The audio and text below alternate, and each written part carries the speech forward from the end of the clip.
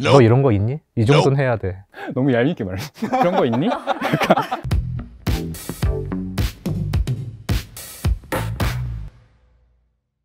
네, 안녕하세요. 한국영상 자료원 유성관입니다. 오늘은 시네마티크 코파 프로그래머 두 분을 모셨습니다. 저희가 해드릴 얘기는 지금 이 두 분이 진행하려고 기획 중인 프로그램 자체가 여름 영화들이에요. 하나가 서핑, 그리고 하나가 오컬트 이렇게 있거든요. 그래서 여름 영화 특집의 두 번째라고 생각하셔도 될 것 같습니다. 일단 나오신 분들 소개 부탁드릴게요.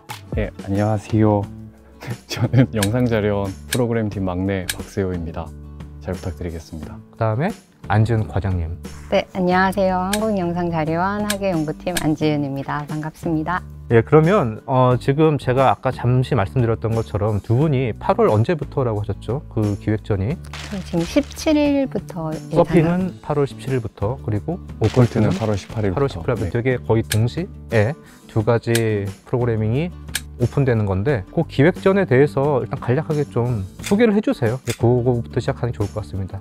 어, 이번 기획전 명은 테이크 오프라고 해서요. 서핑 영화 기획전입니다. 어, 이 한국 영화, 극영화 세편이랑 그리고 해외 다큐멘터리 다섯 편을 아, 총 8편 정도를 지금 준비 중이신 거군요.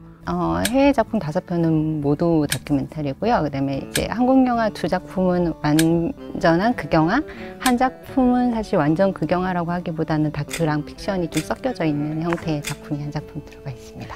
저 이번 오컬트인데 오컬트 프로그래밍에 대해서 좀 얘기해 주세요. 기획전명은 뭔가요? 기획전명은 이제 오컬트 필름 바이블이라고 좀 약간 70년대를 기준으로 현재 우리가 오컬트 장르라고 부를 수 있는 영화들 이 형성되었던 시기의 작품 중에서 영국, 미국, 이탈리아 영화를 상영하는 기획전입니다. 사실 이거 여쭤보고 싶었는데 다른 사람 많은 분들이 오컬트 오컬트 말은 하지만 정확히 오컬트가 뭔가요? 뭐라고 정의할 수 있을까요? 오컬트 그 제가 좀그 아 저 이거 찾아봤었는데 사전에선 초현실적인 일이 발생하는 영화를 오컬트 영화로 하고 라틴 occultus를 어원으로 감춰진 것 비밀 뜻, 뜻하는데 사실 장르라는 게 장르 자체가 이게 묶는 어떤 군집을 뜻하는 거잖아요.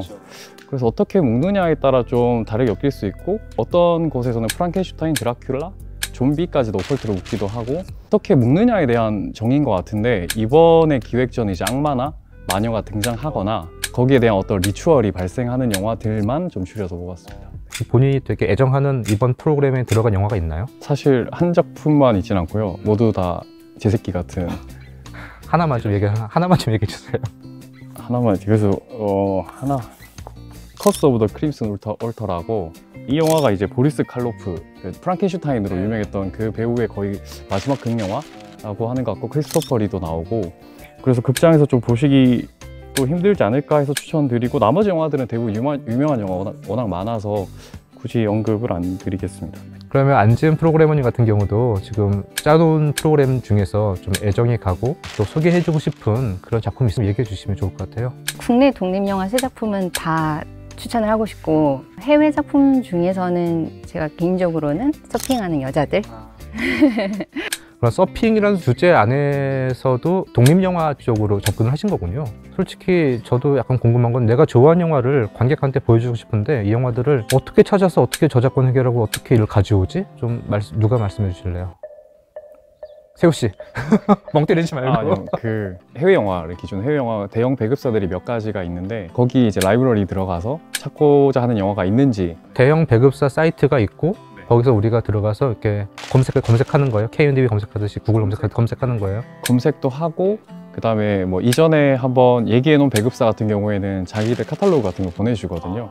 그래서 그런 거를 좀 참고하기도 하고 없을 경우에는 이제 뒤지, 뒤지는데 저희 도서관에 이제 국내 영화제 같은 경우에는 이제 책이 다 마련돼 있어서 거기에 이제 배급사 정보가 있어서 그 정보를 토대로 구글링을 해서 메일을 내가 누군데 어떤 영화를 틀고 싶다라고 연락을 취하는 방식. 저는 여기서 조금 다른 경우는 아무래도 독립영화를 담당을 하다 보니까 개인 영화 제작사인 경우가 많아요. 개인한테 컨택을 해야 되는데 1, 2년 안에 만들어졌었던 작품들 같은 경우에는 연락처가 좀 잘 있는 경우가 있는데 근데 이게 한 10년 전에 이 작품에 대해서 좀 알고 싶다라고 연락을 했었을 적에 컨택이 아예 이제 안 되는 경우들이 많거나 영화사 자체가 사라진다든지 뭐 개인 연락이 어렵다든지 이런 게 많아서 그런 거에 대해서는 좀 어려움이 있기도 하다. 그 수급하면서 좀 에피소드가 있, 나요 해외 배급사랑 처음 연락을 할 때 최영진 이제 프로그래머님이라고 네 영어를 그러니까 거의 원어민이셔서 영어 메일을 쓰는 걸 몇 번 부탁을 드렸어요. 그러니까 상대방이 이제 제가 영어를 되게 잘하는 줄 알고 어. 메일이 오는 거예요. 막 그 원어민들이 쓰는 어떤 사전에 잘 안 좀 찾아봐야 되는 그런 느낌으로 와가지고 안 되겠다 해가지고 이제 직관적으로 보내겠죠. 나는 틀고 싶다 영화 언제 막 이런 거. 나는 필요해 DCP. 상대도 이제 아 얘가 영화 영어를 짤구나. 못하는 애구나. 그래서 상대도 쉽게 오더라고요 그때부터. 어. 그 뒤로 이제 어 되게 마음이 편해졌어요. 그러니까. 주변에 영화 좋아하는 친구들이 어 나 영화 프로그래머 되고 싶어 라고 말하는 친구가 있다고 쳐요. 그럼 그분들한테 어떤 얘기 해주고 싶어요? 너 이런 거 있니? 이 정도는 해야 돼. 너무 얄밉게 말해. 그런 거 있니?